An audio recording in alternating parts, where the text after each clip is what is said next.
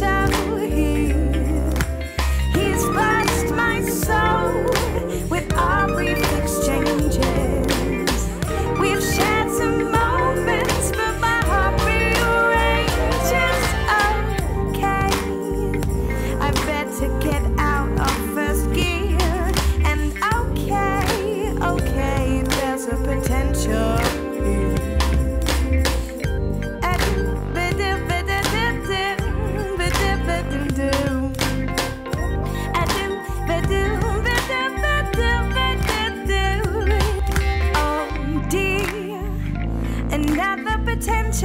pushed to one side. Oh dear, my fault entirely as I declined.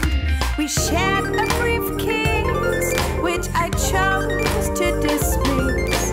And despite my instincts, I stubbornly